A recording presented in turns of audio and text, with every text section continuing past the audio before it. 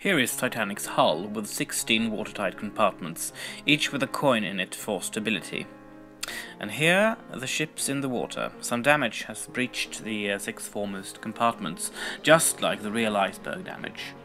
The water is spilling over the tops of the uh, bulkheads one by one, dragging the ship down.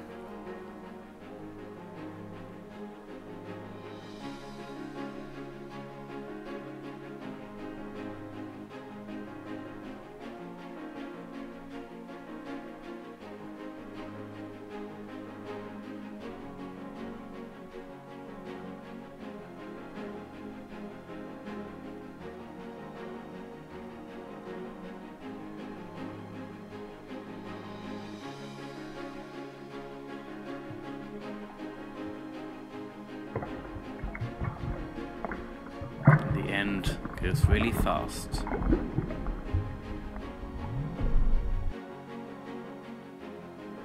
And here we see the process once again, this time with the top decks and funnels on. The stern is lifted out of the water quite early in the sinking process, due to the uh, watertight compartments which uh, keep the stern filled with air, lifting it like a balloon out of the water.